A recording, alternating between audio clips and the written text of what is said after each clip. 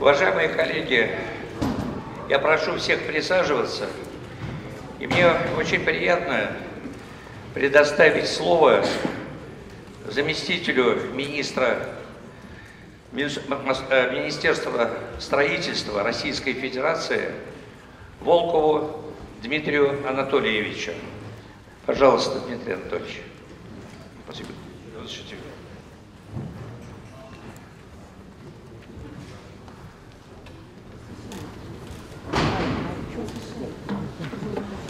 Разрешите. Воспользоваться трибуной. А, уважаемые товарищи, спасибо вам огромное за приглашение. Для меня большая честь а, зачитать приветствие от имени министра строительства и жилищно-коммунального хозяйства Владимира Владимировича Якушева и сказать несколько слов а, в качестве приветствия Академии а, от Министерства. А, уважаемые участники Общего собрания Российской Академии архитектуры и строительных наук, от имени Министерства строительства и жилищно-коммунального хозяйства Российской Федерации и от себя лично а, поздравляю вас с открытием отчетно-выборного общего собрания Российской Академии архитектуры и строительных наук. Сегодня в стране идет реализация национального проекта «Жилье и городская среда», который предполагает большую прорывную работу в области архитектурных и градостроительных решений, внедрение новых технологий в строительстве, возведение современного жилья. Эта программа не может быть качественно реализована, если не будет основываться на глубоких научных исследованиях, анализе текущего положения дел и создании качественных образов будущего. Инновационный путь развития нашей страны и задачи, связанные с реализацией стратегии государства по качественному повышению уровня жизни, определяют необходимость обеспечения граждан достойным жильем, местами приложения труда, развития инфраструктуры. Представление о комфортной и безопасной среде жизнедеятельности связано с модернизацией и высокотехнологичным развитием архитектурно-строительного комплекса и градостроительной деятельности, основу которых составляют научные исследования, а также многоуровневая система профессиональной подготовки кадров. Сегодня научный потенциал Академии внушает уважение. Она объединяет 60 действительных членов и 115 членов-корреспондентов, 86 почетных и 90 иностранных членов Академии, среди которых 147 докторов наук, 153 профессора, 115 заслуженных архитекторов, заслуженных деятелей науки и техники.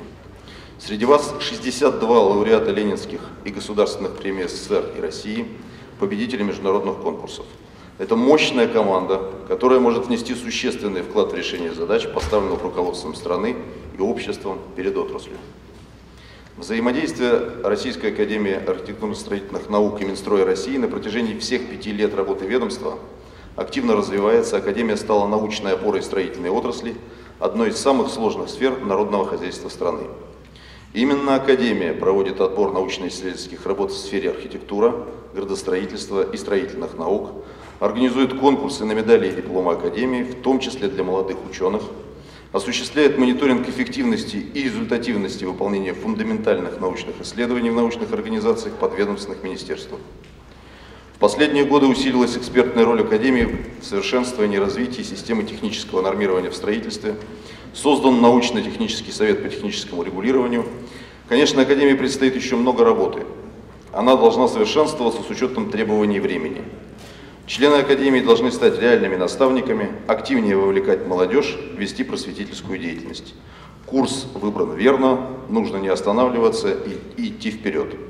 Желаю общему отчетно-выборному собранию Академии плодотворной работы, а участникам доброго здоровья и успехов в научной и творческой деятельности. Министр строительства и жилищно-коммунального хозяйства Российской Федерации Владимир Владимирович Якушев.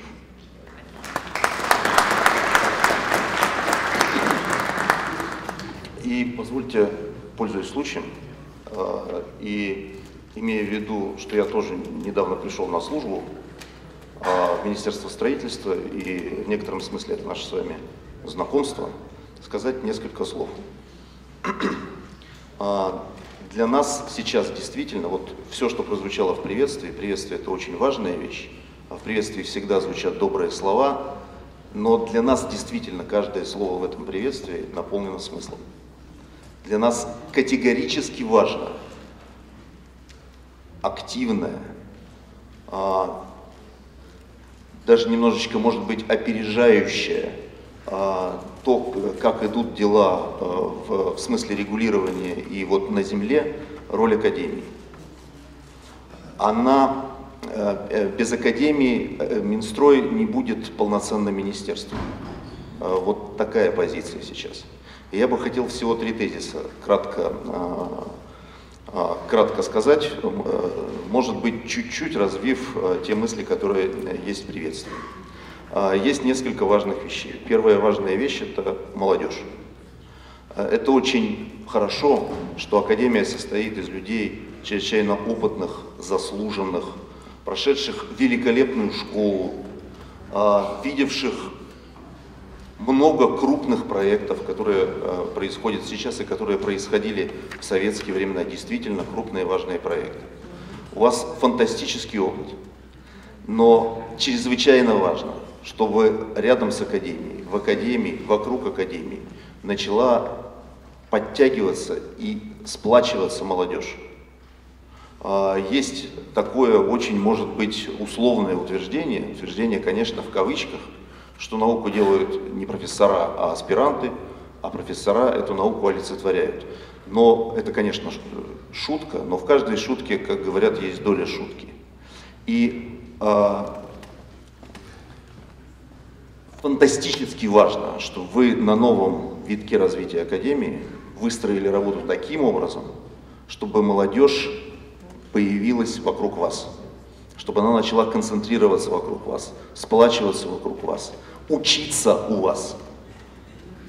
Произошел бы сплав того нового, что мы видим и к чему иногда относимся с осторожностью, и того, что уже точно заслужило свое место в этой жизни, ту строительную науку, архитектуру, которую делали и олицетворяете вы. Это первый важный момент. Второй важный момент – это цифровизация. Три направления Академии а, олицетворяют собой то, э, те вечные ценности, если можно так сказать, вечные вещи. Они никуда не уйдут. Ни, ни, ни, ни, ничто в этом мире не может поколебать наличие архитектуры и, стро, и строительных наук но при этом мы понимаем, что у нас сильно, критически, а, совершенно, ну, совершенно переворачивая нашу жизнь, меняется технология. Если вы не инкорпорируете это в свою деятельность, то, к сожалению, к сожалению, вы много потеряете, и мы потеряем много вместе с вами. Фантастически важно – те технологии, которые приходят сейчас и которые меняют отчасти, в том числе и классические фундаментальные науки, тоже инкорпорировать в вашу деятельность. То, что называется условно цифровизацией, это не дань моде, это не новый термин, а, который какое-то время побудет в, нашем пространстве и потом уйдет, как это у нас иногда бывает. Это совершенно точно новый технологический уклад. И впитать в работу этот новый технологический уклад на уровне академии также чрезвычайно важно. И э, крайняя вещь – это роль академии в публичном пространстве.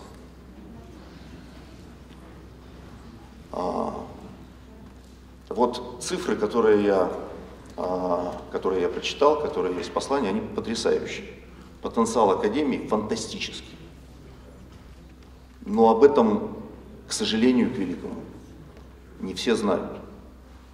Не все, а, в том числе и лица, принимающие решения, а, понимают, что в первую очередь надо, может быть не в первую очередь, но а, уж не дальше, чем во вторую очередь, или рядом, или вот, вот тут надо пригласить людей, которые прошли вот такую школу, это огромная большая команда, сплоченный огромный коллектив, что на это надо опираться. А для этого Академия должна звучать, а, звучать в публичном, в публичном пространстве. А, мы со своей стороны сделаем для этого все, что возможно. Но жизнь показывает, что вот это звучание – это не а, статьи в газете, это не хорошие отчеты, это даже не то, что называется словом пиар, или это может быть не только то, что называется словом пиар – это еще и реальные инициативы. Это участие в, в современных проектах от имени Академии, с флагом Академии. под флагом Академии. Нам очень важно, чтобы вот такой потрясающий инструмент, который есть в руках у Министерства строительства и который есть у нашей строительной отрасли, а у нашей строительной отрасли есть своя академия, мало, от, мало отраслей, которые могут похвастаться, похвастаться такой вещью, она сохранилась, чтобы вот этот фантастический инструмент э, стал номером один в, в смысле интеллектуальной, в смысле инициативы, в смысле формирования повестки дня. А цели президентом сформированы, но пути достижения этих целей мы только прорабатываем. И на этом пути много очень важных и интересных развилок. В нахождении правильного движения по этим развилкам мы очень хотим опираться на ваш опыт, профессионализм, инициативу. А, я уверен, что вне зависимости от того, как вы выстроите структуру Академии, а, вот эти важные вещи вы учтете в своей работе. Еще раз решите пожелать вам здоровья, успешной работы. Всего доброго.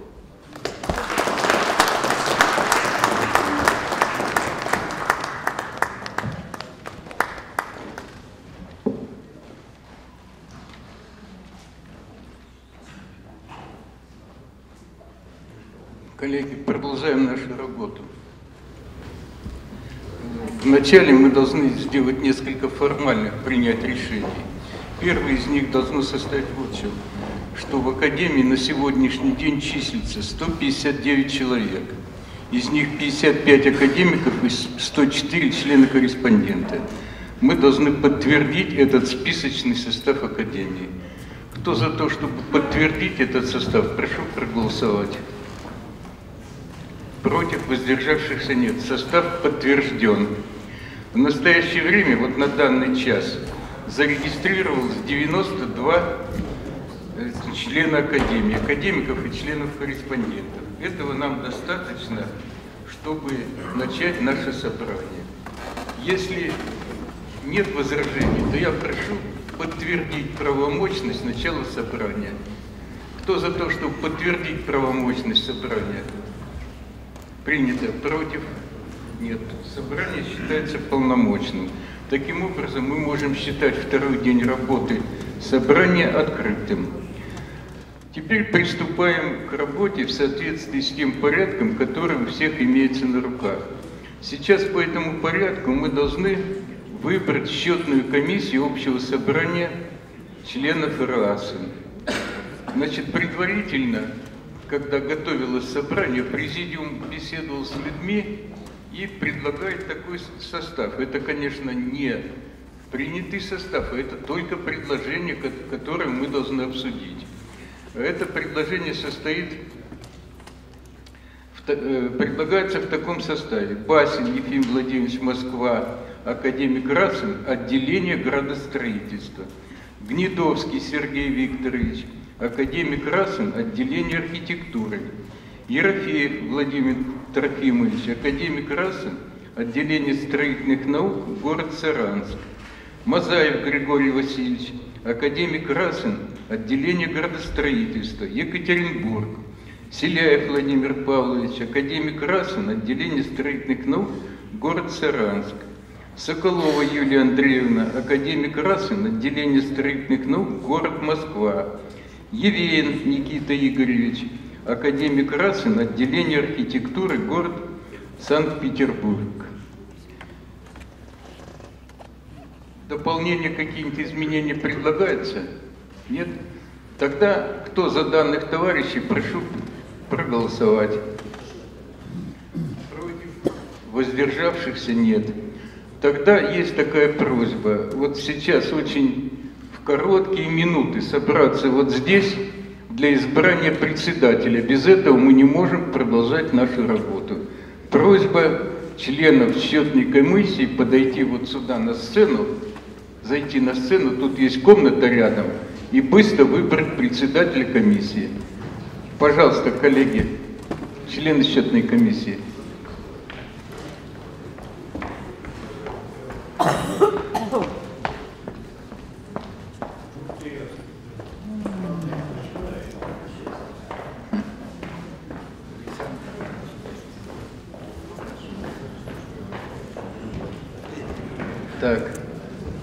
Вы с ними... э, Ага, и вы вы объявление сейчас делаете? Слово для объявления представляется секретарю президиума. Уважаемые участники общего собрания, э, я хочу сделать объявление такого рода. Когда вы будете получать э, под регистрацию бюллетени для голосования, вам также в комплекте будет выдан документ как внесение изменений в устав Российской Академии архитектуры и строительных наук каждому члену, члену Академии. Будьте любезны, ознакомьтесь с этим документом. Сейчас одна-две минуты, я думаю, мы эту паузу нам пока нечем заполнить. Сейчас нам объявит председатель. Я думаю, там долго времени не займет выборы председателя. Мы утвердим председателя и тогда пойдем дальше в соответствии с тем порядком, который у нас роздан всем участникам нашего собрания. Александр Вик- Викторович провожает заместителя министра, и сейчас он тоже вернется в зал.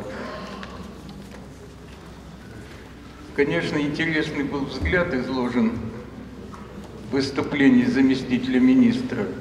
Для нас очень важным, вот мне так показалось, его заявление, что Академия является важнейшим, важнейшей составляющей в деятельности министерства.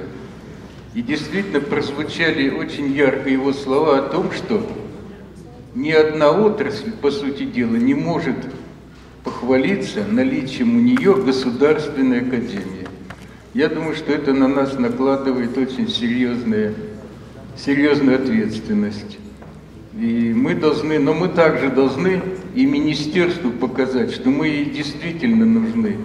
С тем, чтобы министерство на нас смотрело не сквозь пальцы, как это часто бывает, а чтобы оно действительно нас считало своими партнерами, причем партнерами в определенном секторе. А этот сектор называется мозговой штурм. Вот Академия должна обозначить эту свою миссию. Она обозначена, она обозначена. Но надо, чтобы она была признана. Но и определенным упреком нам, как мне кажется, прозвучало то, что в Академии делается очень многое. Но об этом далеко не вся общественность, в том числе и строительная общественность, знает. Вот эту сторону тоже надо не только делать, но уметь показать, потому что это не просто, как было сказано, пиар, а это один из рычагов, даже не рычагов, а направлений инноваций и внедрения того, что создается в Академии. Этот упрек надо учесть, мне кажется, и пойти по пути его исправления. Но я думаю, что сейчас уже коллеги там справились. Не думаю, что у них идут такие дебаты, что они не могут выбрать председателя. Они заполняют протокол.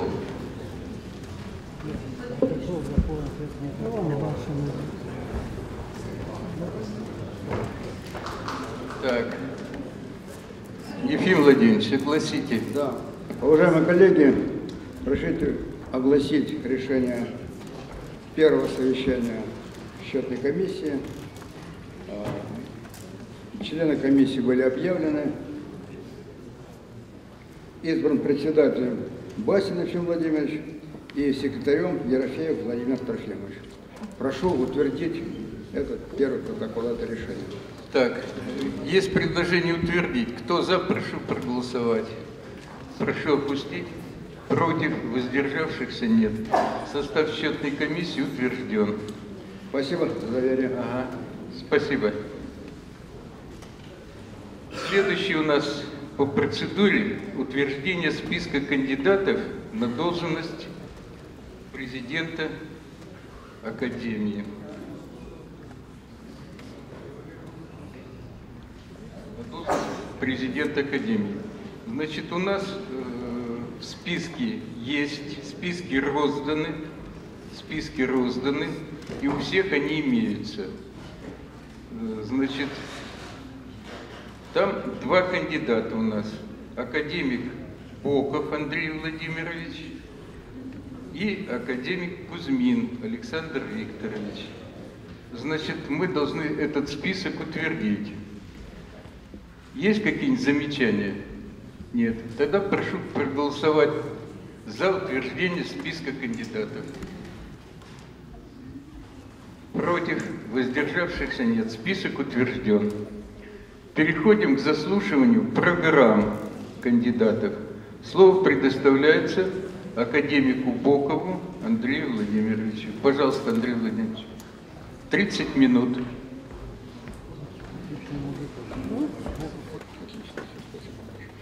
Уважаемый председатель собрания, уважаемый президент Академии Александр Викторович, уважаемые вице-президент и коллеги. Мне, в общем-то, легко выступать после вступительной речи заместителя министра, потому что я приблизительно о том же хотел говорить, наверное, только другими словами. А начать я хотел бы с того, что за пять лет, о которых мы вчера вспоминали, произошло, по крайней мере, два знаменательных события, которые самым непосредственным образом отражаются на судьбе Академии.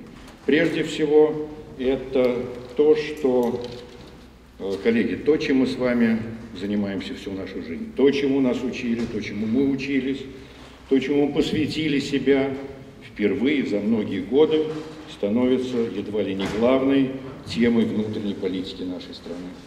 И тому подтверждение прежде всего 204 указ президента, так называемый майский указ, тому подтверждением работа над стратегией пространственного развития, работа над стратегиями развития строительной отрасли, жилищной сферы. И, наконец, последний чрезвычайно важный документ, который стал результатом Госсовета, проведенного э, в Казани, где, по крайней мере, два обстоятельства должны быть нами отмечены. Прежде всего, это поручение касательно организации или реорганизации Института типового экспериментального проектирования. И второе – это положение или поручение о принципиальном реформировании всего свода правил, то есть всего корпуса СНИПов и сводов правил, касающихся прежде всего градостроительства, архитектуры, на основании так называемых стандартов комфортной среды, которые подготовлены до РФ. Это означает, что нас заставляют серьезным образом пересмотреть наши представления и увеличить, если угодно, скорость движения к светлому будущему. Здесь написано, я готов это повторить, что, к сожалению, глубокому, вот тот потенциал, замечательный, огромный, гигантский потенциал Академии, о котором говорил заместитель министра, тем не менее не используется в полной степени, не используется в полной мере. И вопреки логике, действительно, место Академии сегодня оказалось занято, занято другими.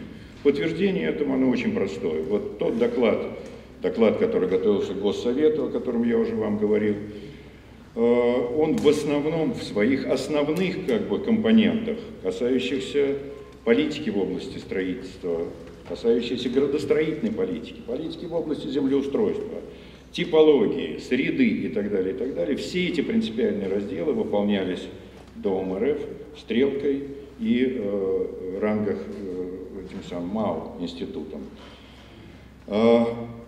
Академии было поручено участие, по-моему, в четвертой или пятой части, в четвертом или пятом разделе, касающемся модернизации строительной отрасли и индустриального строительства. То есть, понимая это строительство, в общем, железобетонных э, зданий многоквартирных, и этим, этим нам предложено было ограничиться.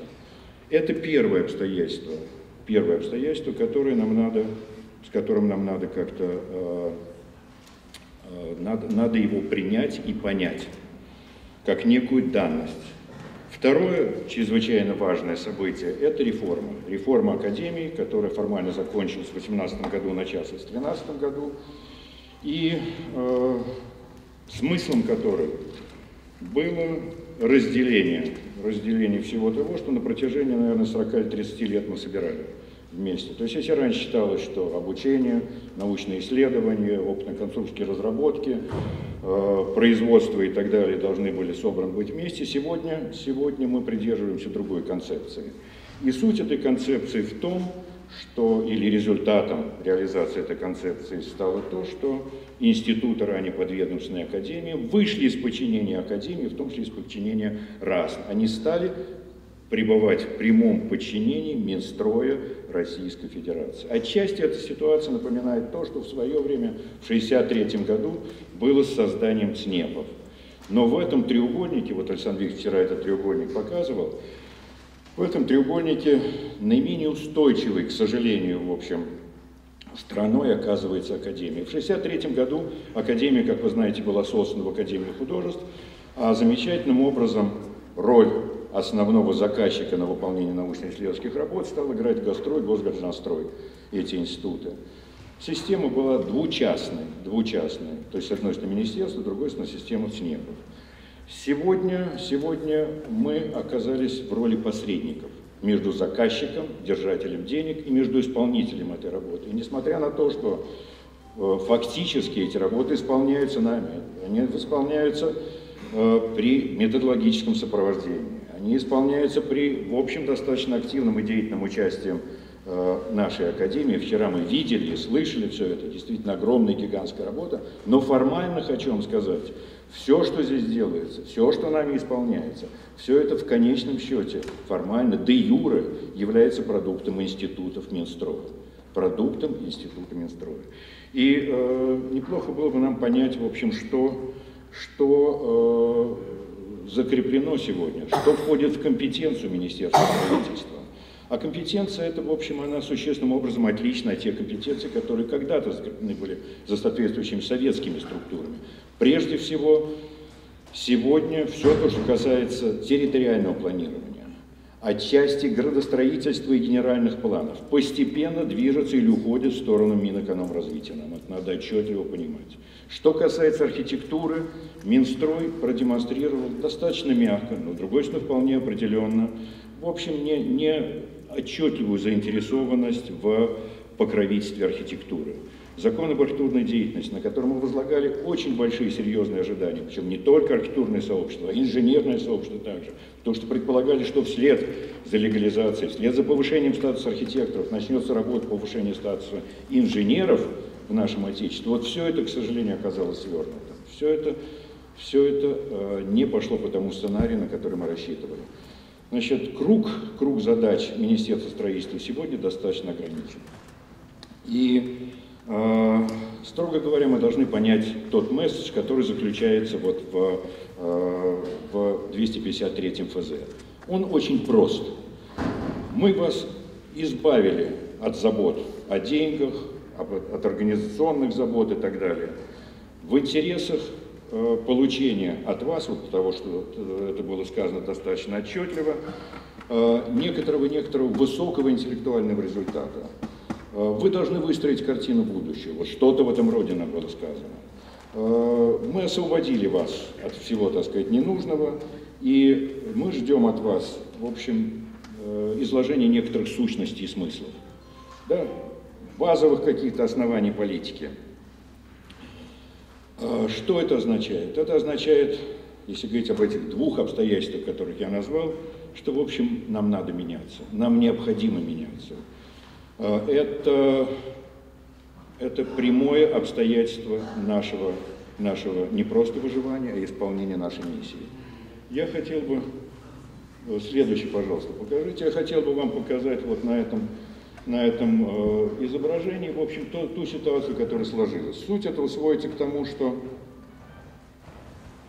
сводится к тому, что, да, сложился целый-целый блок, вот такой обширнейший блок разного рода институтов, находящихся в прямом подчинении, в прямой зависимости, в жесткой связанности с целым рядом исполнительных органов власти, очень влиятельных сегодня, которые полностью покрывают, например, градостроительную тематику. Это РАНХИ, с которым я говорю, это ОСИ, это ИЭК, Институт экономики города, это Высшая школа экономики, это ЦССР, это СОПС. Э, все эти институты все эти институты чрезвычайно активно, повторяю, и более того, они чрезвычайно популярны и широко известны вот здесь, в профессиональном сообществе, бизнес-сообществе, широкое общение. Они издают достаточно большое количество литературы. Литература, которая распространяется по регионам, литература, которая распространяется по учебным заведениям и так далее. Они известны, чрезвычайно известны и популярны. А, особое место занимают вот эти две институции. Это Дом РФ и Стрелка. То есть все, что касается архитектурной тематики сегодня, фактически все, что касается принципиальных, базовых, если угодно, структурных некоторых, концептуальных и так далее положений, все это, в общем, все это создается, реализуется здесь, под покровительством веба Российской Федерации. А, у нас сохраняются, сохраняются связи с Минстроем благодаря, в общем, титаническим, героическим усилиям а, нашего отделения строительных наук. Наши строители являются той единственной опорой, которая, которая обеспечивает сегодня устойчивость Академии и некоторые контакты, контакты вот с этим уровнем. С этим уровнем. Одним из, одним из э, несомненных, в общем, одной из несомненных проблем, если угодно, является еще раз не только формирование вот этого блока, полностью, полностью отделяющего нас от вышестоящих структур, да, но и, э, но и э, то обстоятельство, что э, мы внутренне, внутренне, в общем, не связаны в достаточной степени. Э, а это порождает риски, риски распада. И эти риски, они достаточно, в общем, э, очевидны. Не раз приходилось мне слышать разговоры о том, что, смотрите, вот в Академии, Академии художеств, куда в свое время остатки Академии в 1963 году перешли, приблизительно такое же количество академиков, такое же количество исследователей. И э, в, чем, в чем специфика ваша? Да? Э, коллеги, что же нужно делать в, этой, в этих обстоятельствах? Следующий, пожалуйста, покажите. Следующий слайд. По моему глубокому убеждению, Академия должна стать, должна стать пространством, соединяющим и объединяющим всех вместе. Пространством, которое принято сегодня считать инклюзивным. Мы должны выстроить сегодня самые активные, самые продуктивные связи со всеми структурами, прежде всего с органами власти, прежде всего вот с этими людьми. За какие-то три недели, наверное, я обошел практически представителей всех этих структур. Я общался со всеми теми людьми, которые сегодня, интересы которых, ответственность которых впрямую связаны с деятельностью, с деятельностью нашей Академии. И результатом этих обсуждений, результатом этой договоренности было следующее. Первое, я понял, что все эти структуры, все люди, которые кабинете министров находятся, в администрации президента, в законодательном собрании Российской Федерации, действительно чрезвычайно заинтересованы в получении качественного, эффективного, понятного, ясного и яркого научного знания. В тех представлениях, которые можем продуцировать только мы и дать только мы и никто другой. И это действительно так. И это действительно так, уважаемые коллеги. А, я общался с представителями региона. Пригласили меня на встречу с э, губернаторами, вице-губернаторов 40 регионов России. И я отчетливо понял, что эти люди действительно нуждаются в нашем участии, хотя бы в интересах создания так называемых региональных, межрегиональных и макрорегиональных стратегий социально-экономического и пространственного развития. Это тот тип документов, который сегодня чрезвычайно востребован. А, итак, еще раз, мы обязаны стать главной, подчеркиваю, основной, ведущей площадкой общения, интеграции знаний, умений и так далее. Всех, кто здесь собран, абсолютно всех. Мы не участвуем сегодня, к глубочайшему сожалению, во всех основных федерального уровня конференциях, встречах, фестивалях и так далее. Нас нет в Сочинском форуме, нам нет, нас нет в Урбан форуме, нас нет в Питерском экономическом форуме, в Питерском культурном форуме, в Гайдаровском форуме и так далее. Там, где едва ли не главными темами являются все те, о которых я говорил. То есть вопросы пространственного развития, вопросы решения там, жилищной проблемы, строительной сферы, будущего строительной индустрии и так далее. Следующий, пожалуйста, покажите.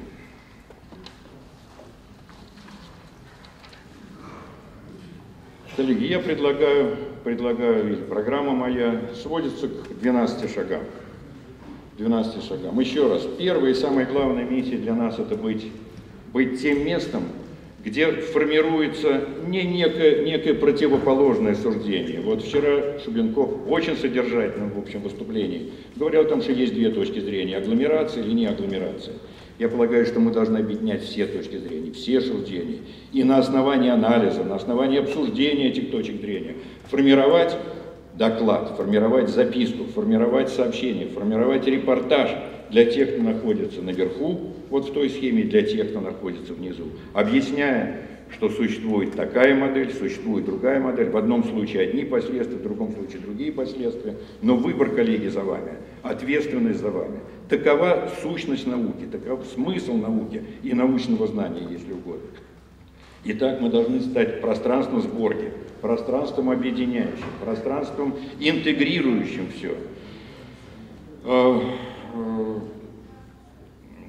Нас действительно ждут и действительно наше, наше знание востребовано. Что, что это такое? С каким продуктом мы должны прийти в конечном счете? Прежде всего, конечно, это, это записки, это репортажи, это, э, это отчеты, которые мы должны писать вне зависимости от того, запрашивает кто-то у нас это или нет. Это должно быть нашей реакцией. И поверьте, эта реакция будет встречена с одобрением и будет встречена, в общем, с достаточным энтузиазмом. Не было случая, чтобы то, что мне приходилось говорить в Совете Федерации, в администрации президента и так далее, оставалось бы без последствий. Я отчетливо чувствовал следы, следы тех, я не знаю, того убеждения, что ли, или тех слов, которые мне удавалось произносить. А, Э, восстановление доверия общества. Важнейшее обстоятельство, важнейшее, о котором я уже сказал, мы обязаны стать еще раз главной площадкой, главным местом, главным местом, где проводится вот то самое фундаментальное, серьезное обсуждение, обстоятельное обсуждение. Нам надо расширять, в общем, свое присутствие, естественно, в социальных сетях и на телевидении.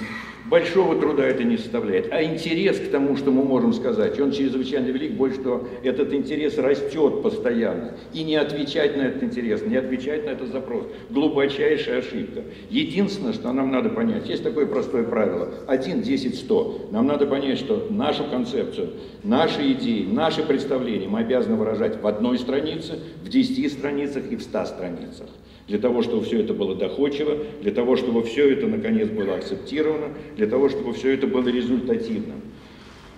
Коллеги, э, я уже сказал вам, что в поручении президента речь идет о создании Института теплового экспериментального проектирования. Это дает нам все основания смотреть на Академию как на э, учреждение научно-проектного характера. В этом наша сила, и нам надо всячески на этом настаивать. Что это означает? Означает, что нам надо расширять круг, так сказать, не только общения, не только тут поиначе формировать план наших работ, но и думать о том, как мы будем популяризировать наши знания, наши умения и членов Академии, я извиняюсь, вне всякого сомнения, издавая монографии всех тех людей, которые присутствуют в этом зале, которые сидят здесь и которые заслуживают того, чтобы быть чрезвычайно популярными и узнаваемыми. Следующий, пожалуйста, покажите.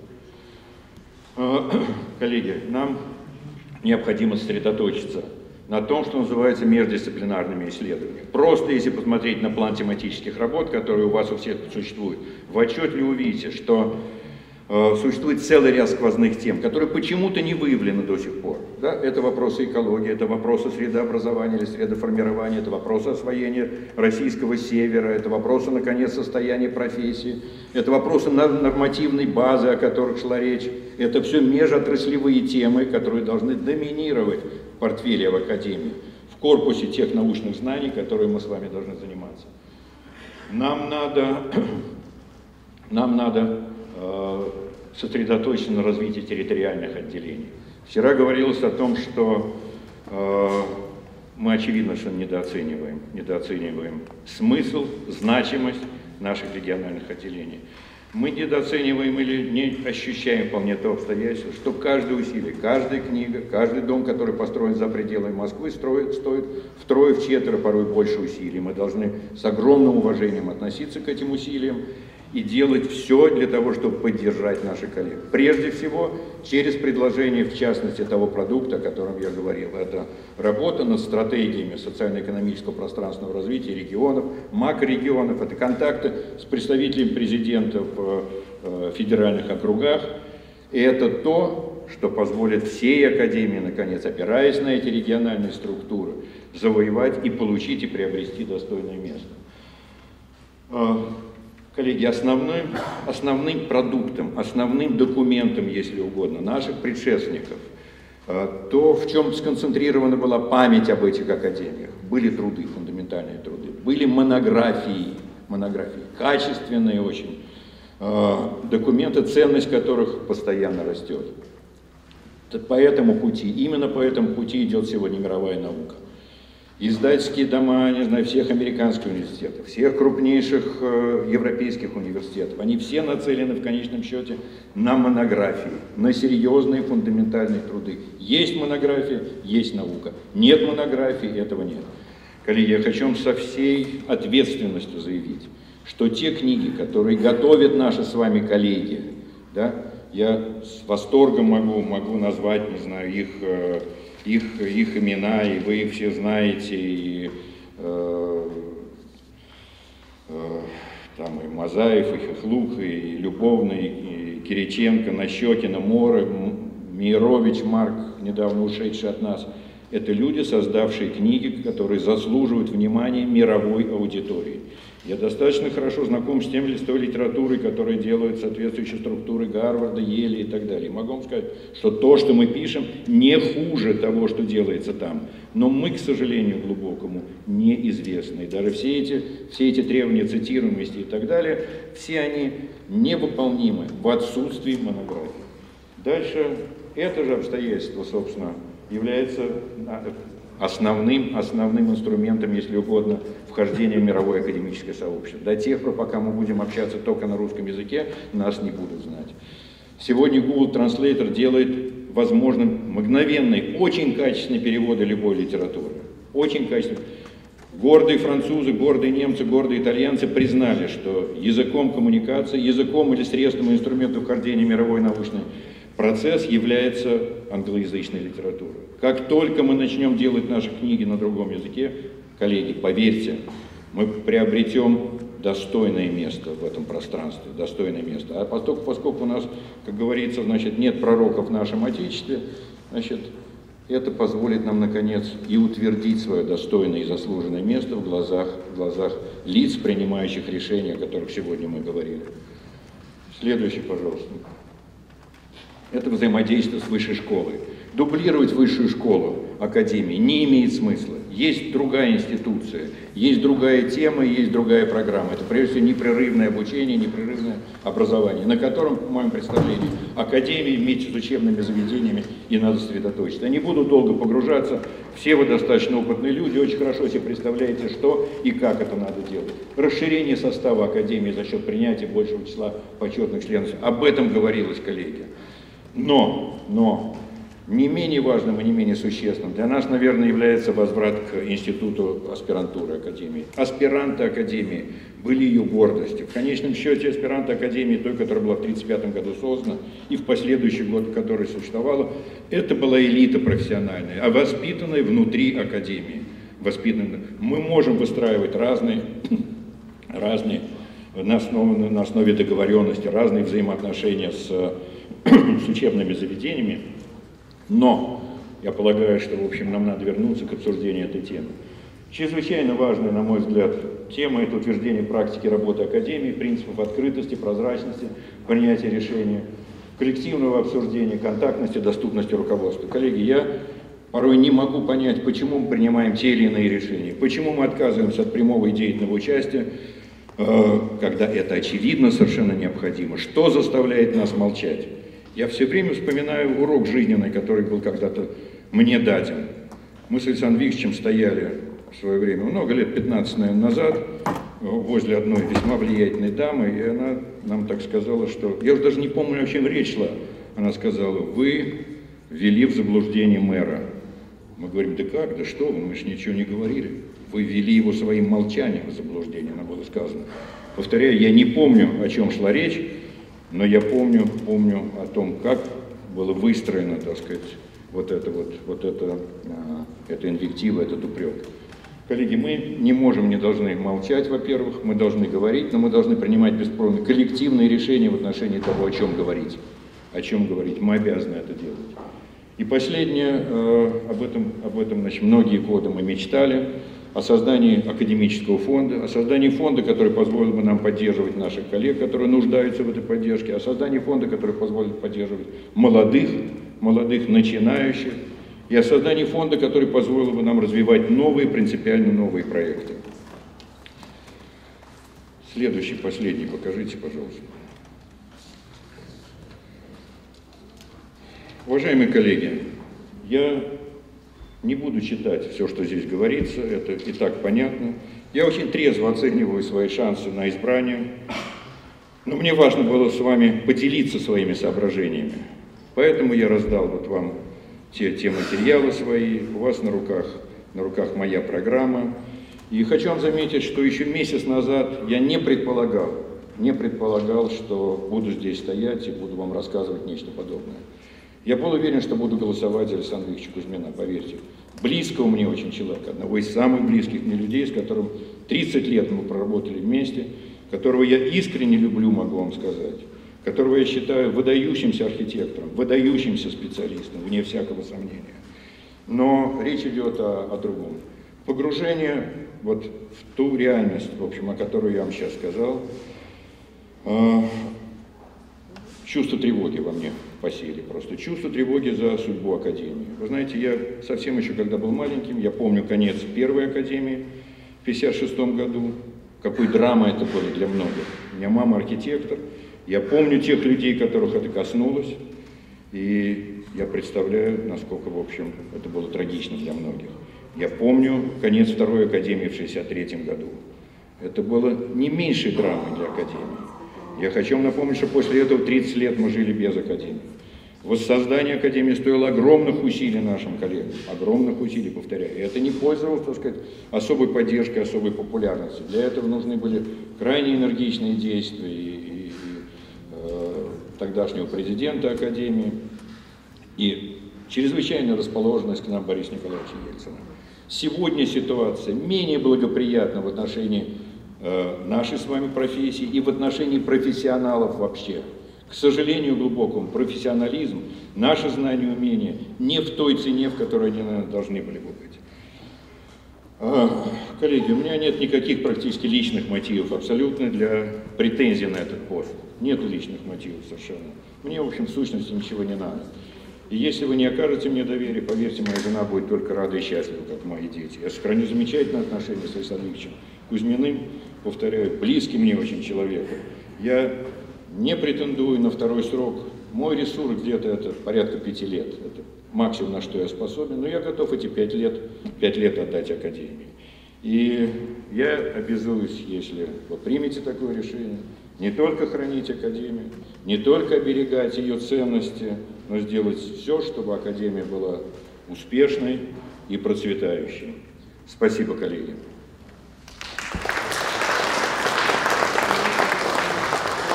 Я не следил за временем. Если у меня осталось минута, я готов ответить на вопросы. Если нет, ну, если нет, так нет. Как мы поступим? По регламенту, который у нас был утвержден, у нас не предусмотрено. Но если есть такая необходимость, ну давайте. Есть необходимость? Нет? Достаточно, да? Ну хорошо, тогда будем соблюдать тот порядок, который был утвержден. Спасибо, Андрей Владимирович. Слово предоставляется академику Кузьмину Александру Викторовичу.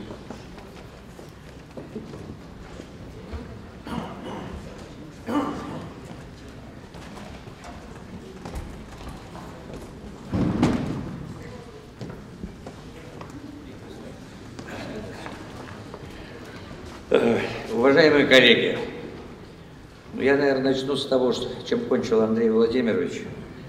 Мы, правда, практически 30 лет работали вместе, плечом к плечу, в том числе не просто в стенах Москвом архитектуры, но и делали совместные проекты. Я тоже хочу высказать свое уважение к Андрею Владимировичу. Наверное, мне выступать немножко будет сложнее, чем Андрею Владимировичу, потому что я буду говорить о том, что на фоне того, что было сделано. Андрей Владимирович в этом вопросе легче. Он говорил о том, что надо сделать. Когда ты что-то сделал, всегда есть за что критиковать, всегда видно то, что сделано не совсем, может быть, удачно, а что удалось.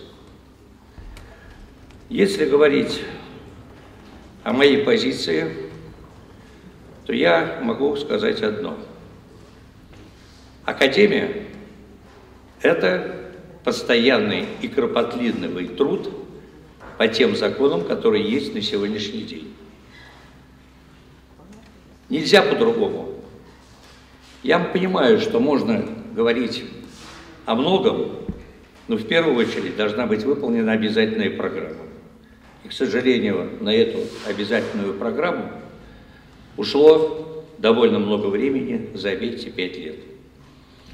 Если же говорить о тех направлениях в Академии, которые я считаю основными, наверное, я вчера 45 минут говорил практически про все про это.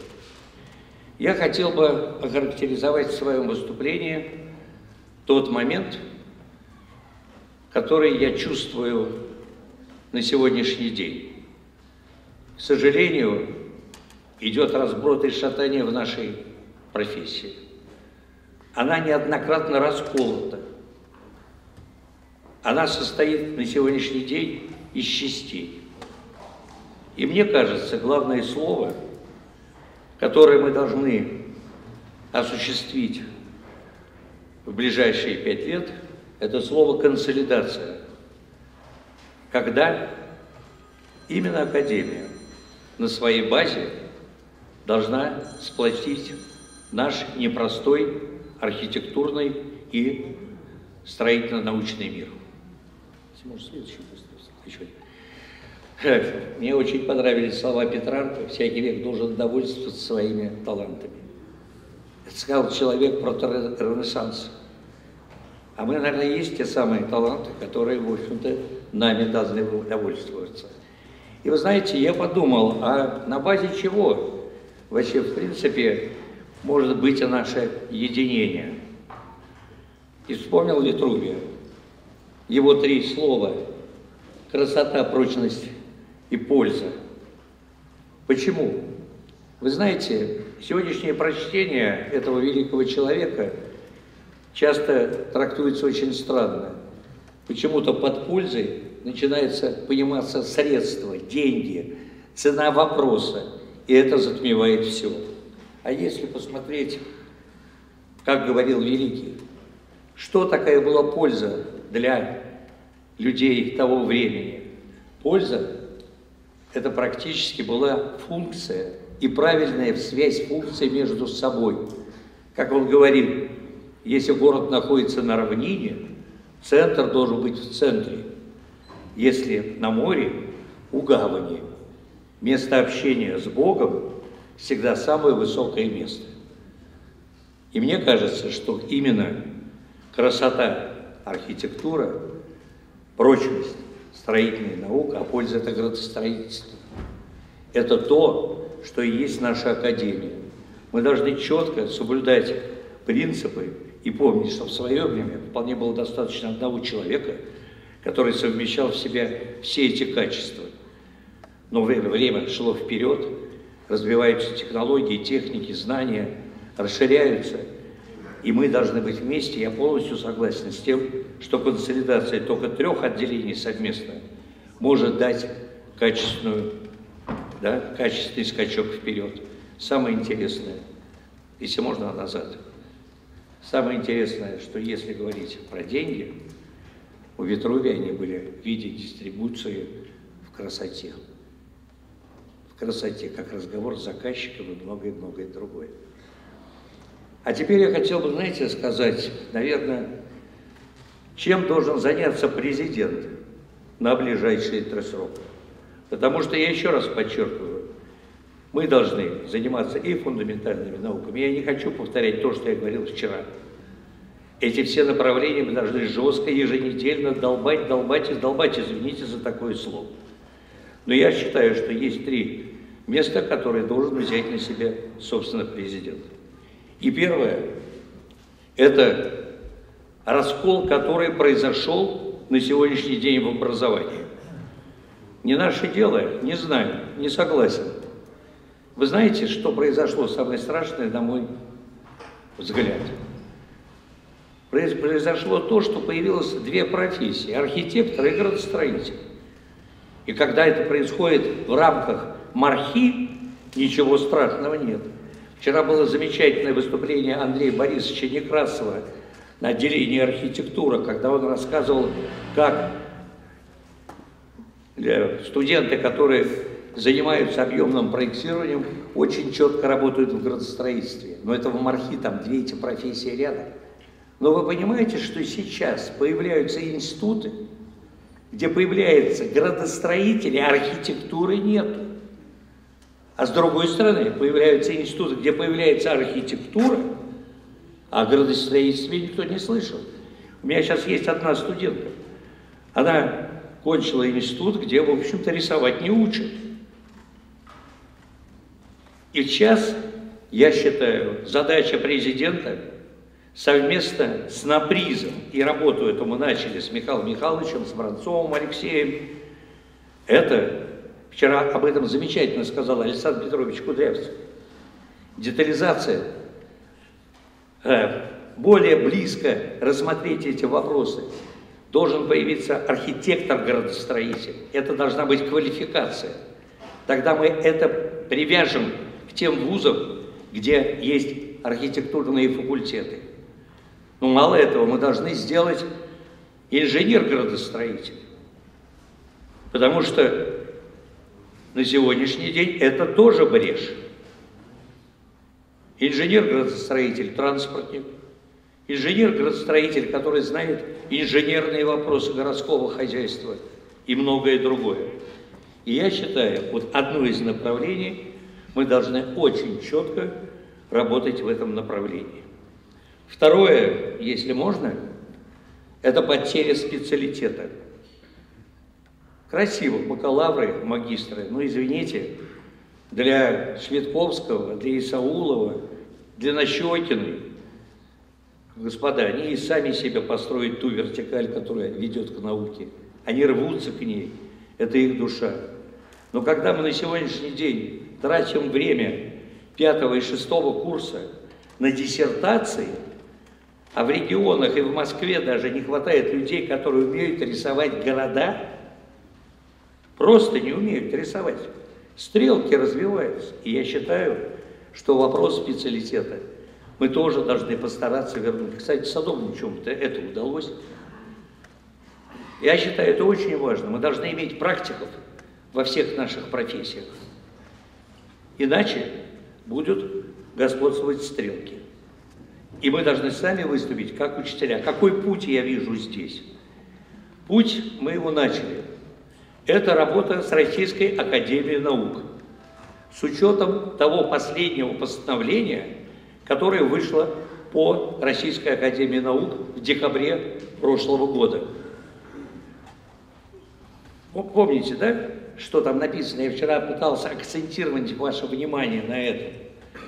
Там написано, что Российская Академия Наук отслеживает не только научные организации, которые входят в Минобр, но отслеживает и другие научные организации, а также высшую школу с точки зрения научных исследований. И вот я думаю, именно работая с Минстроем, а это, кстати, немножко будет напоминать, извините, э, Дмитрий Анатольевич, работу шахтера.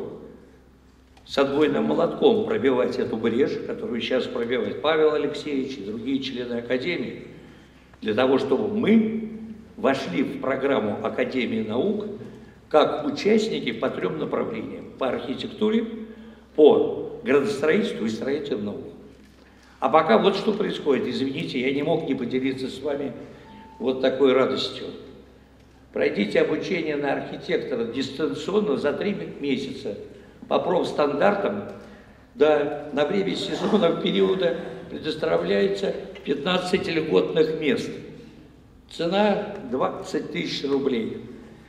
Не улыбайтесь, строители, ваша цена на 5 тысяч меньше.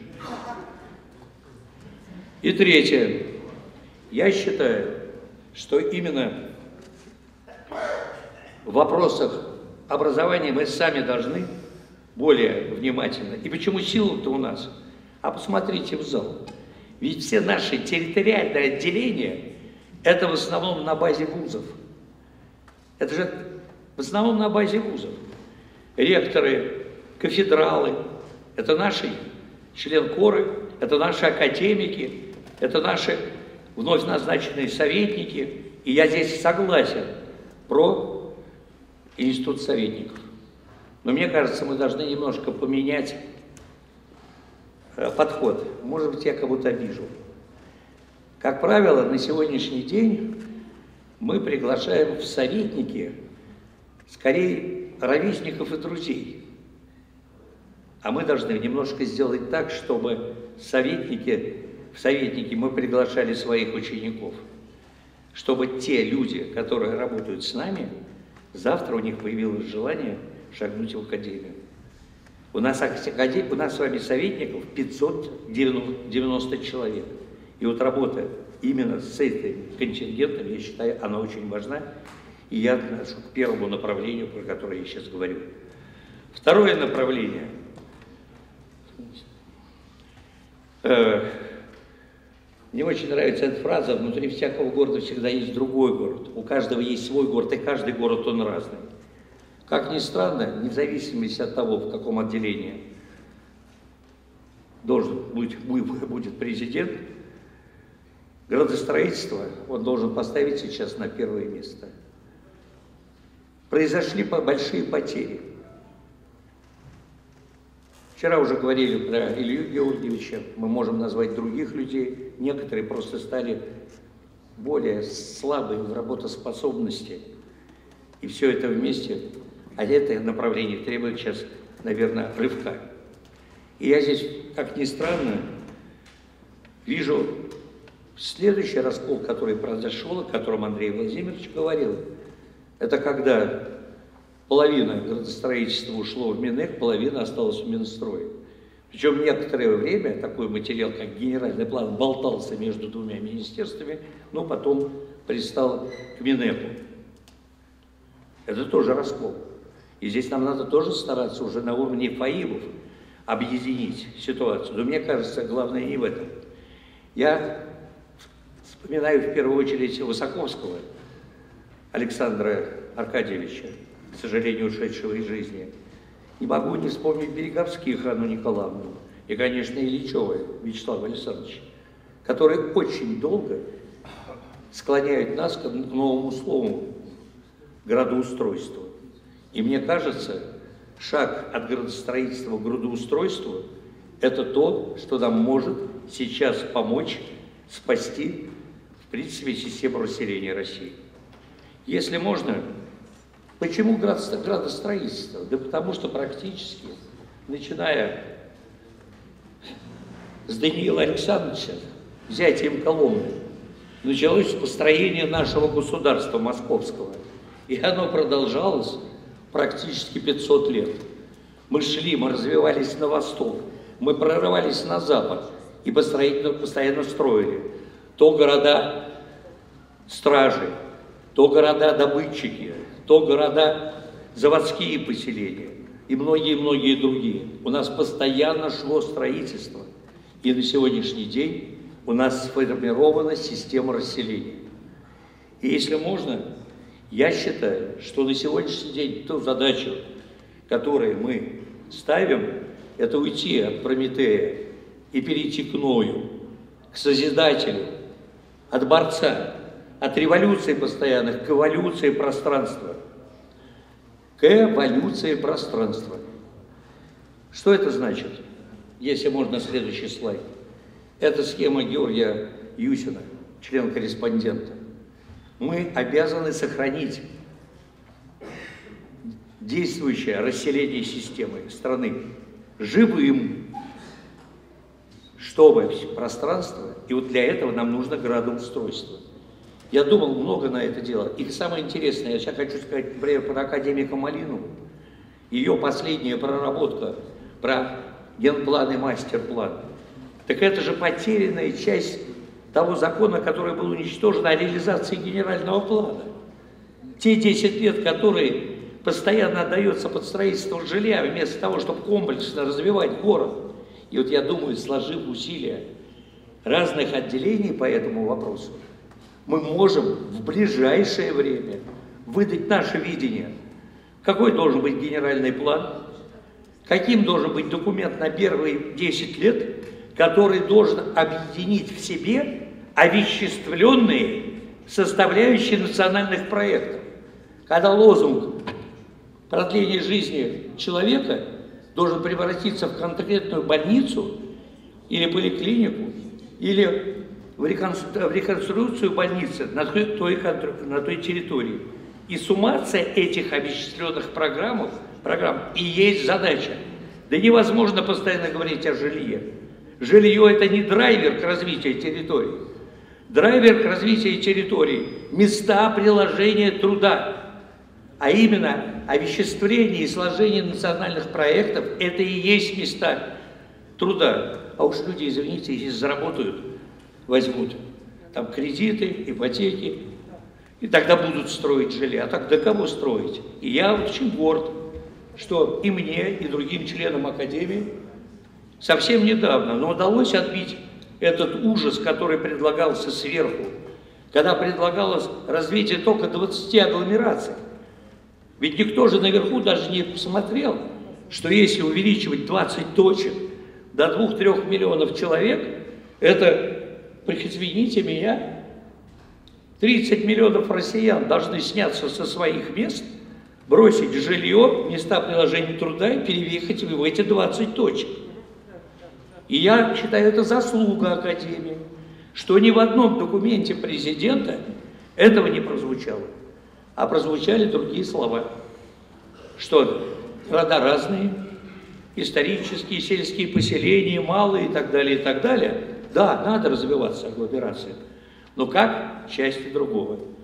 И третье, если можно, если можно, мне очень нравится еще, когда нас пытались все сравнивать с Японией. Знаете, вот я не мог не показать этот слайд. Если у нас плотность населения 8,5 на гектар по России, а у японцев 336 человек с небольшим на гектар. Мы должны смотреть на свою систему. Мы должны ее четко знать. Я сейчас вспоминаю опять Лежаву Илью Георгиевича, ту схему, которую сейчас показывал Шабенков вчера. И я считаю, мы Можем это сделать. И я бы за это тоже взялся. К тому же, уж извините, наверное, я тоже немножко градостроитель. И третье, я очень полюбил эти слова Фостера. Прежде чем что-либо строить, слушайте город. Прежде чем что-либо сносить, слушайте сердце. И я вспоминаю вчерашние слова Александра Петровича Кудрявцева. А давайте поговорим об архитектуре. Мы отделение архитектуры, давайте поговорим об архитектуре. И тут произошел еще один раскол. Как Мень нас расколол, назвав одних традиционалистами, а других креативистами. То есть на приз, Союз архитекторов, Академия традиционалистов. Да, и в данной ситуации я считаю, мы здесь должны очень внимательно посмотреть на такое заезжее понятие, которое заездили, как среда, как среда обитания человека, если можно. Мы все разные, и не может быть идеальной среды обитания, что сейчас пытается сделать Москва. Придумав урбан-блоки, придумав урбан-блоки, да, с плотностью от 40 до 65 тысяч на гектар. Дорогая, э, представляете, представители регионов, в Москве строится жилье с плотностью 65 тысяч квадратных метров на гектар. А мы, наверное, все разные. И каждый хочет жить по-разному. И здесь, знаете, я даже подумал, что есть такой вид, новый вид архитектуры. Я вот труд, трудно произношу от слова инсталляция. Инсоляционизм. Когда берется линейка, вот такие уголочки, почему вот здесь выбит угол? Думаете, от мысли автора? А потому что, чтобы солнце в эту дырку проходило и освещало первые этажи того дальнего здания. Но самое мне что не понравилось, Александр Петрович, ведь мы потом такие задания оформляем в хорошую архитектуру, оформляем в хорошую архитектуру и даем за это премию. Не знаю, я считаю, что нам есть чем гордиться. И я бы хотел... А вот я просто специально изучал в Чехии слово реновация. Вот мне понравилось. Знаете, есть реновация по-московски.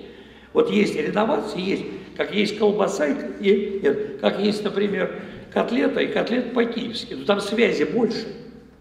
Потому что если сможешь слово реновация, это совершенствование, да, и так далее. И реновация по-московски, когда вместо пятиэтажек 30 этажей с плотностью 60 тысяч. А вот реновация по-пражски. Да, вид от центра вообще не видно. Подходишь от новых районов, то все равно пиво, вместо пивного завода. И у нас есть такие работы, если можно. Земцов Юрий Исаевич. Я не знаю, ну, вот этот его Смольный парк, я считаю, достойный. Новой архитектурой, новой композицией, а созданы и дворы, и скверы, и даже чуть ли не подворотни. Следующее, пожалуйста. Или, например, Сергей Викторович Гнедовский. Ведь он мог пойти по другому пути на Куликовом поле. Как это сделал Брюлов, как это сделал Чутев, поставив в вертикали памятники. А он ушел в землю. Он оставил поле. И это тоже пример. Извините, хочу показать свою последнюю работу «Город Доброград».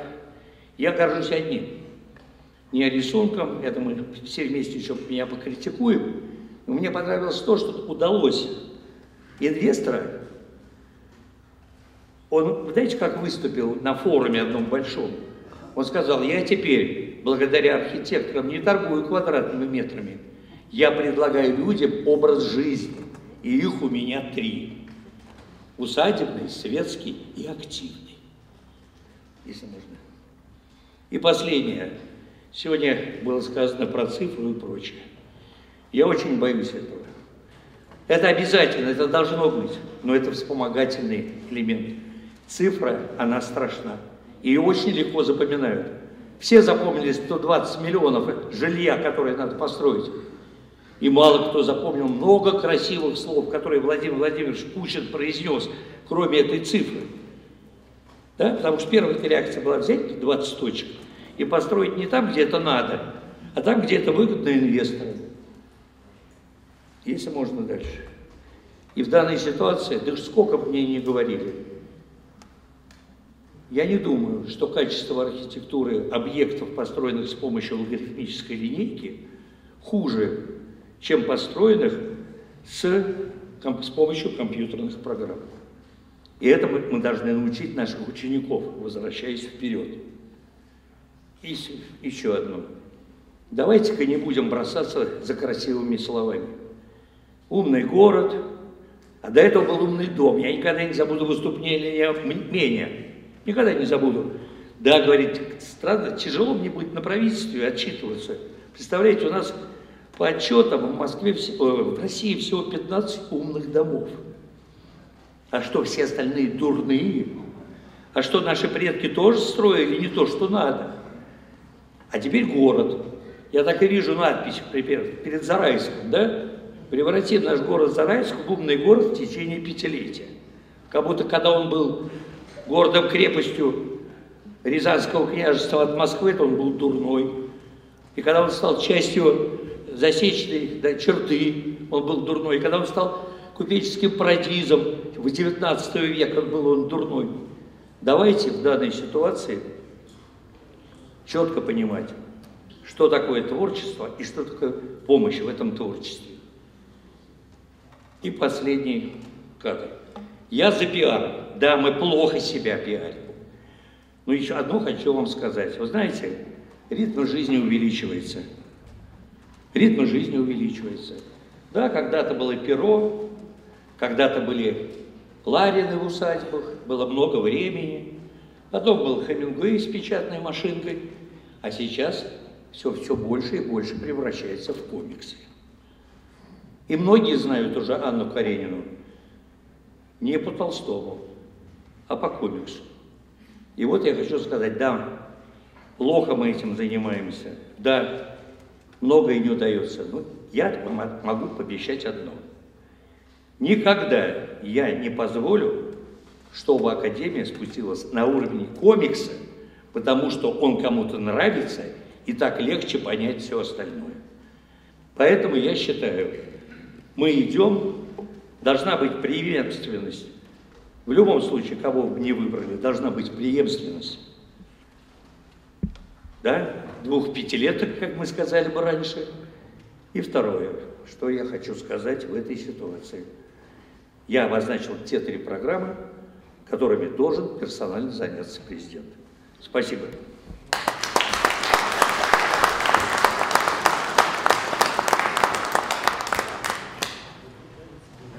Коллеги, прежде чем приступить к проведению процедуры голосования, у нас есть еще по э, нашему порядку проведения собрания одно действие. На собрании будет рассматриваться проблема изменения устава. И чтобы нам не разбивать голосование на несколько, у нас есть такая необходимость сейчас провести одновременно еще с выборами президента выборы председателя комиссии по э, разработке изменений в устав. Есть рекомендация э, внести кандидатуру Травуша Владимира Ильича на исполнение миссии председателя этой комиссии. Нет возражений. Мы должны, мы должны эту кандидатуру избрать тайным голосованием. Поэтому одновременно с проведением выборов президента будет проведена выборы э, кандидатуры председателя комиссии. Есть предложение внести бюллетень для тайного голосования на миссию председателя комиссии вице-президента академика Травыша. Нет возражений? Нет. Нет. Тогда слово председателю счетной комиссии академику Басину Ефиму Владимировичу для, для объявления порядка голосования. Пожалуйста, Ефим Владимирович. Ефим Владимирович, вам слово для рассказа о порядке голосования. Выдаваться будет вестибюле. Ну и там, что надо оставлять в бюллетене, вот тут очень важно, потому что по регламенту в бюллетене по выборам президента должна оставаться одна кандидатура. Если будут какие-то другие там, то бюллетень будет признан недействительным. Пожалуйста, Ефим Владимирович.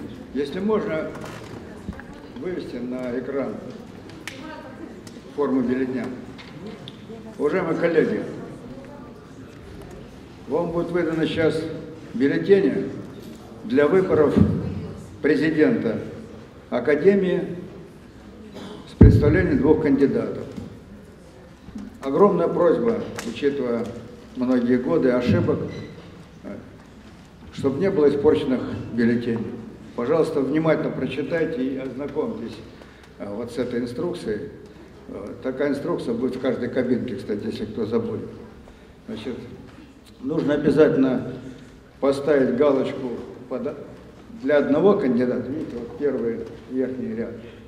И ни в коем случае, если будут пустые колонки, значит бюллетень будет недействительным. Если будет, наоборот, две галочки, тоже будет недействительным. Только один кандидат по вашему выбору. Понятно, да? Да. Значит, просьба, давайте мы оперативно проголосуем. Ефим Владимирович, да. еще нужно разъяснение. Э, кто будет считаться избранным? Сколько надо набрать? Нужно набрать большинство голосов. Большинство голосов. Большинство или более 50% принимавших участие? Большинство голосов, но более 50%. Нет, а если два наберут меньше 50? Остальные будут недействительными. Если будет одинаковое э, количество голосов, то будет второй тур тогда. Второй тур тогда будет. Я думаю, до этого не дойдем. Ефим Владимирович, вопрос, ответ не полный. Кто-то наберет большинство, но меньше 50%. Второй тур. Будет второй тур. Да. Вот это важно знать. Понятно, да? Нет вопросов других? Так. Да. Ефим Владимирович, второй бюллетень тогда по выборам председателя комиссии устава. Устав. Значит, вывесить можно, нет, второй бюллетень? Пожалуйста. Мы сейчас будем выбирать еще э, председателя по уставу. Ну, здесь немножко проще. Один кандидат, значит, один квадратик.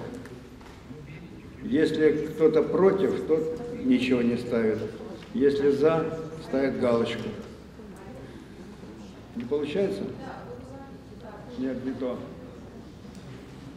Второй, пожалуйста, бюллетень.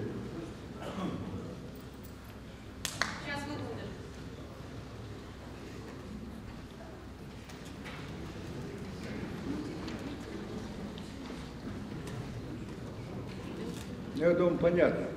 А вот, пожалуйста, видите? Бюллетень действителен, если голосуют за, если против, он тоже действительный. Понятно, да? Спасибо. Ну, здесь грамотные люди. Есть вопросы? Спасибо. Да. Уважаемые э, члены академики, академики и член Коры, э, регистрация и выдача бюллетеней будет осуществляться по отделениям э, в фойе перед большим залом. Позвольте нам э, 5-10 минут для конституционных вопросов.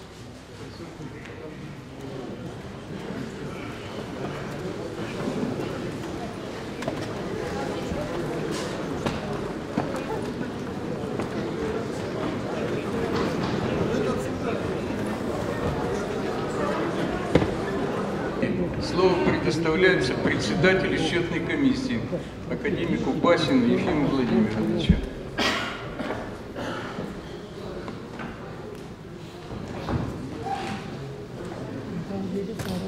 Уважаемые коллеги, объявляем результаты голосования президента раз.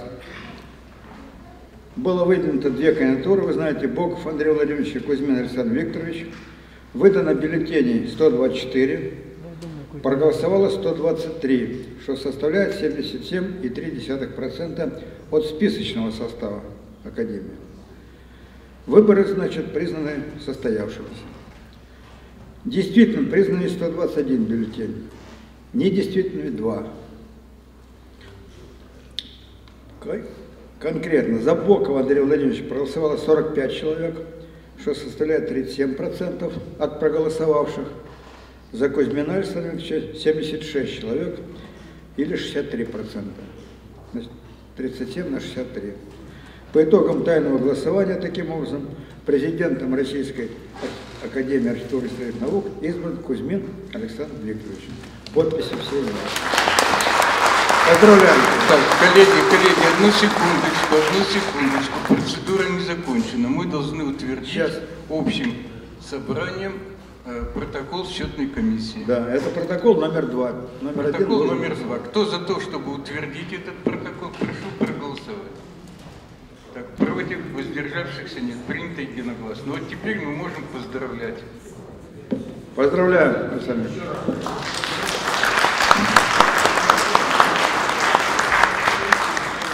Путь, путь Академии вы наметили на ближайшие пять лет, значит, выполняйте.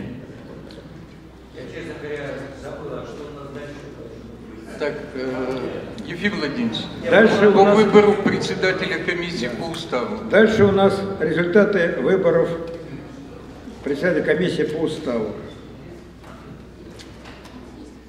У нас была одна кандидатура. Трауш Владимир Ильич, академик раз. Выдано бюллетеней 124, донесли до столов 118 человек, что составляет 74% от списка состава. То есть выборы признаны состоявшимися. Действительно признаны 117 бюллетеней и недействительным один. Таким образом, за Трауша Владимира Ильича проголосовало 117 человек, немножко неправильно написано, что составляет 99%, как у Назарбаева. Поэтому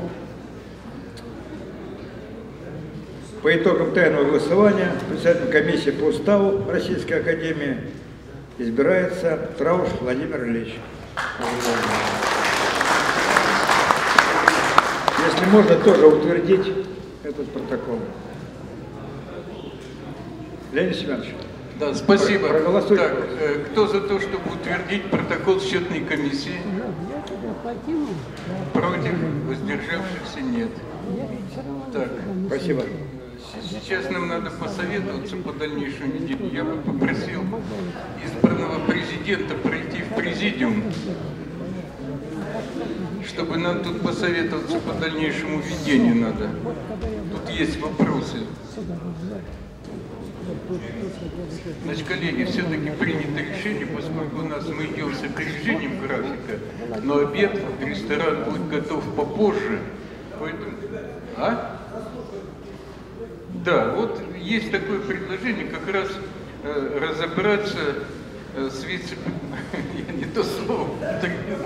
ну, начать процедуру выборов вице-президентов. Значит, у нас э, фамилии вице-президентов, претендентов на первого вице-президента и на вице-президентов розданы.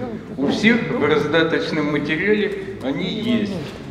Значит, э, есть необходимость оглашать?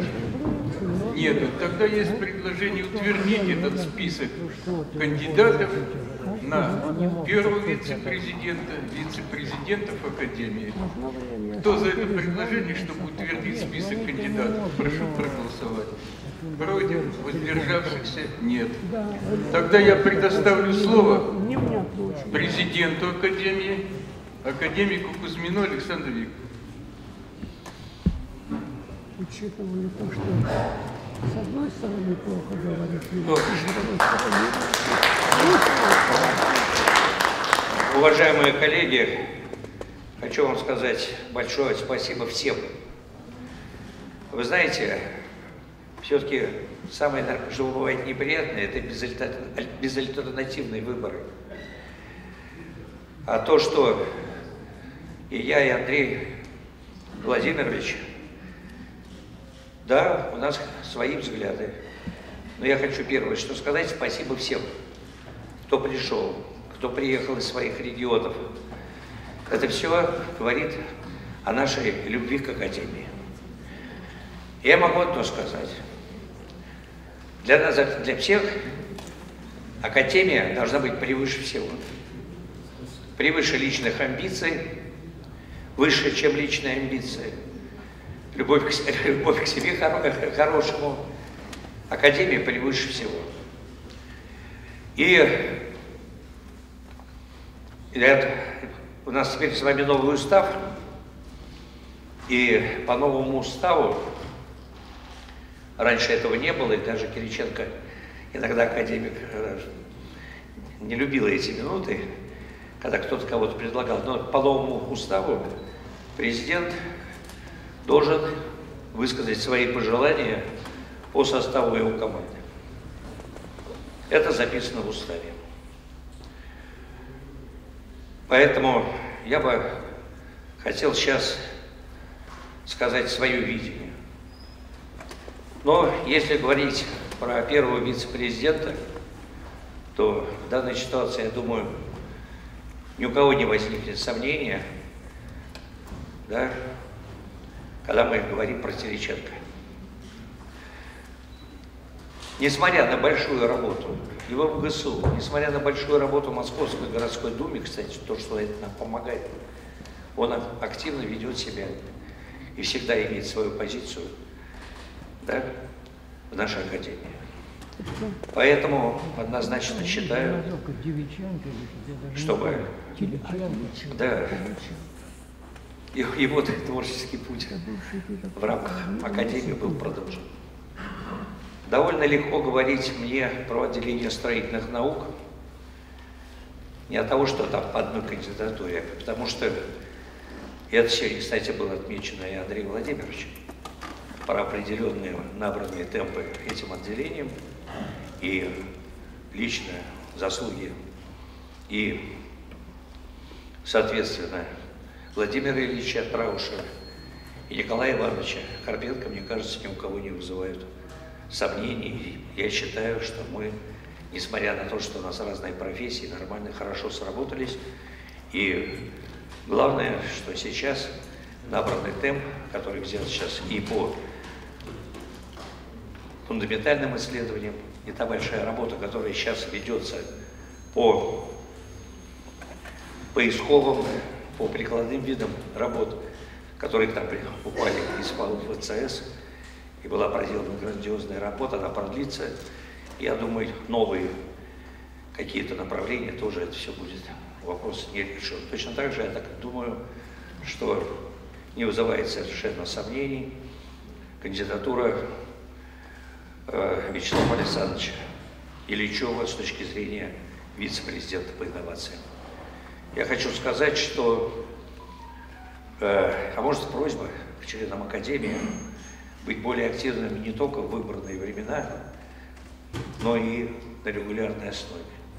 Потому что то, что у нас появился инновационный журнал, то, что его может смотреть вся Россия, да, что называется дома, это его заслуги. Вот здесь тот самый случай, когда мы так четко знаем своего героя. Сложнее мне говорить про свое родное отделение архитектуры не менее родное отделение градостроительства. Там у нас альтернатива выбора. И если говорить про архитектуру, вы сегодня заслушивали мою презентацию, и я большое внимание уделяю связям с высшими учебными заведениями. Совместная работа с точки зрения молодежи, с точки зрения всего. Поэтому я лично отдаю предпочтение Исау, Исау Георгию Васильевичу. Это не значит, что не может быть другого. Это я высказал свое. Особо сложно мне говорить про отделение градостроительства. Две кандидатуры. Шведков Михаил Валерьевич, исполняющий обязанности, и Бондаренко Игорь Андреевич, который тоже подал, да, на, ну, подал заявку на данную должность. Вот здесь я считаю сложный выбор для меня лично. Если можно, я откровенно скажу, да, с точки зрения почему. Не знаю, Михаил Валерьевич, но дай Бог здоровья и всего, но сомневаться в некоторых вопросах, на мой взгляд, вице-президент не должен. Не должен сомневаться в некоторых вопросах. Но с другой стороны, когда я говорю про Игоря Андреевича, то все мы его знаем больше как историка, а сейчас надо заниматься в первую очередь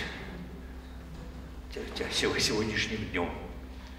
Поэтому, дорогие коллеги, я, опять же, исходя из общего блага Академии, этот вопрос оставляю открытым. Я этот вопрос оставляю открытым. Одно могу сказать. Я, как и обещал, когда выступал, я себя на ближайшее время вижу ближе к отделению градостроительства. Мне кажется, это тот момент, где мы должны вместе все сплотиться. И наши отдельные проработки, наши отдельные мысли сложить в единый какой-то рисунок. Поэтому вот мое мнение по тому, что будет происходить далее. Спасибо. Я не понял, что отделение градостроительства. Не понял. Или я не понял, или он так что-то в этом написал. Ты завтра будешь? Коллеги, Да буду, наверное. сейчас мы перейдем непосредственно к выборам. Слово председателю счетной комиссии. Ефим Владимирович, пожалуйста. Я не понял. Вот за Бондаренко или не помню. Бондаренко действительно больше истории.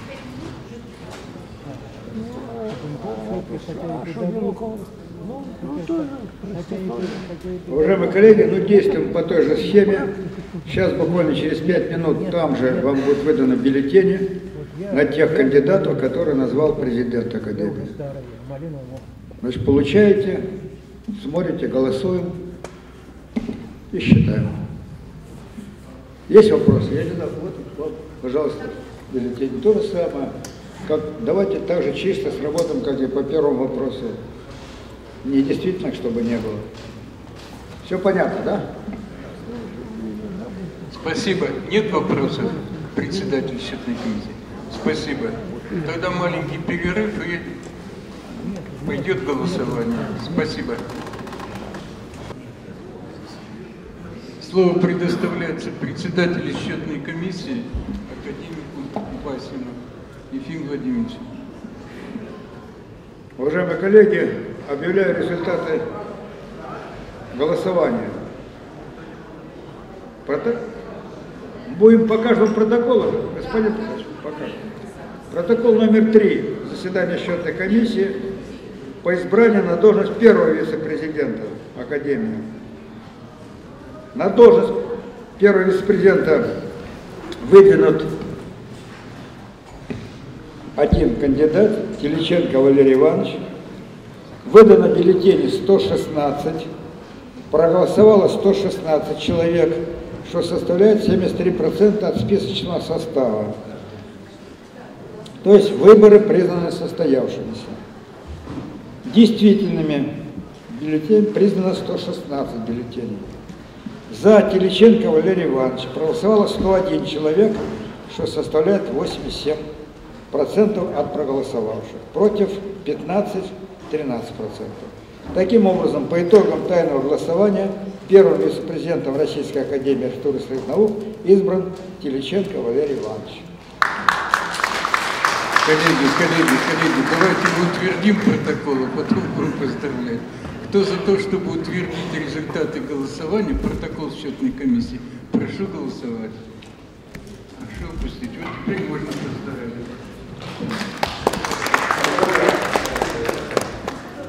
Протокол номер 4. По избранию на должность вице-президента по направлению архитектура. На эту должность выдвинуты две кандидатуры. Буш Дмитрий Вильямович и Исаулов Георгий Васильевич. Оба академики.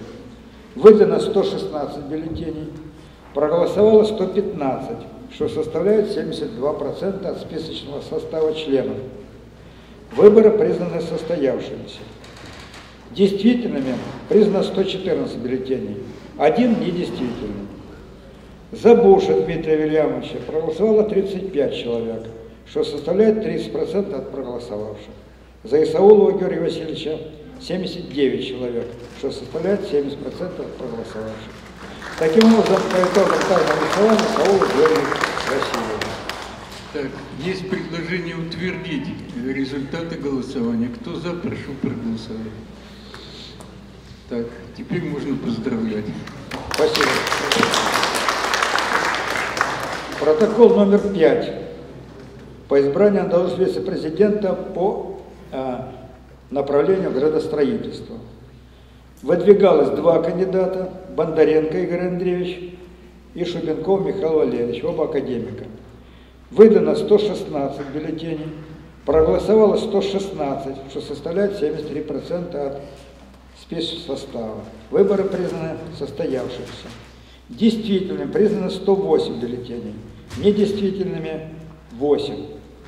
За Бондаренко Игоря Андреевича проголосовало 43 человека, что составляет 37% от проголосовавших. За Шубенкова Михаила Валерьевича 65 человек, что составляет 63% от проголосовавших. Шубенков Есть, есть предложение утвердить. Кто за, прошу проголосовать. Теперь можно поздравить. Протокол номер 6 по избранию вице-президента по направлению строительной науки. Выдвинут был один кандидат Трауш Владимир Ильич, выдано 116 бюллетеней, проголосовали все 116, 73% от списка состава. Выборы признаны состоявшимися. Действительно признано 115 бюллетеней, один недействительный. За Трауша Владимира Ильича проголосовало 112 человек, что составляет 96,6%, как за, как в лучшие времена. Против Трауша три человека, 3%. Таким образом, Трауш Владимир Ильич избирается вице-президентом Академии. Просьбу утвердить. Кто за, прошу проголосовать. И можно поздравлять. Слово президенту, а еще же один, Ильичев. Протокол номер 7. Заседание счетной комиссии по избранию вице-президента на, по направлению инновации. Выдвинут был один кандидат Ильичев Вячеслав Александрович, выдано 116 бюллетеней, проголосовало 115, 72% от списка состава. Выборы признаны состоявшимися. Действительно признаны 114 бюллетеней, один недействительный. За Ильичева Вячеслава Александровича проголосовало 94 человека, что составляет 83% от проголосовавших. Против 20 человек, 17% проголосовало. Таким образом, по результатам тайного голосования Ильичев Вячеслав Александрович избирается вице-президентом Академии. Просьба проголосовать сначала. Давайте. Кто за утверждение? Так.